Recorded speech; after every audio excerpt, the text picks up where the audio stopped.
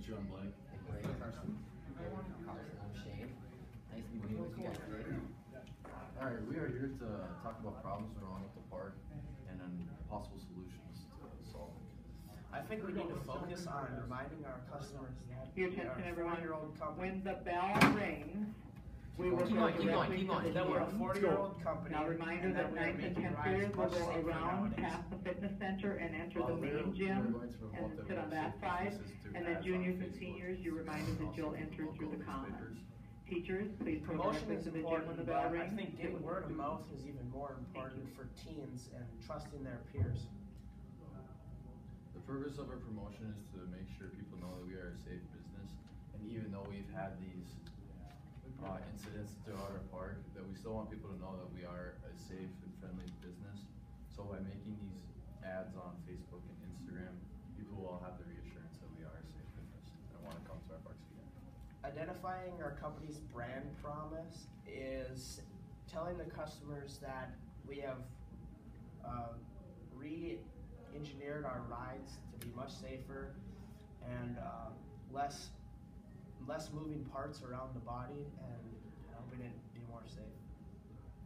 We need to have good relationships with our customers so that when we talk, when people talk about our business, they only say good things. And when people are saying good things about our business, it means more to the people that are listening than, uh, because they know the person and it's not just a ad on TV or something like that. So if people are talking good about our business, more people will wanna come. For the factors of our position in corporate brands, uh, we were third in service and fourth in attendance.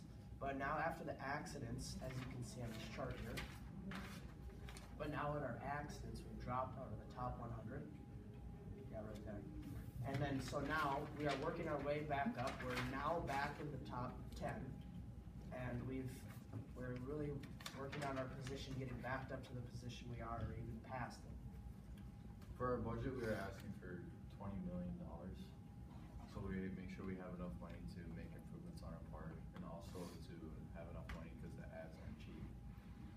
For our effectiveness, we will take graphs and record on on our attendance levels each and every day and see how our campaign is doing every day. And if there's something wrong, we need to change it. For timeline, we are hoping to get back into the top three, uh, in rankings in over a year. Alright, I've got a, I've got a couple questions to ask you guys, is that okay? Yes. How do you plan to make these rides safer and give everybody else in the city? Um, we plan to make sure there's no moving parts on the roller coasters or, or spinning parts around the bodies. And there is going to be at least a twelve foot clearance from any beams or stabilizers. And also for the wet floors, we are planning to put up signs and also having recordings around the buildings that say only walk, no ride, so people are slipping. And also to notify them that there are slippery floors around.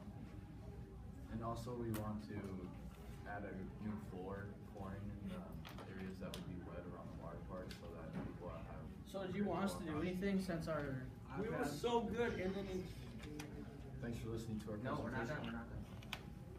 I have a couple more questions. That's okay. We'll close it right now. Good job.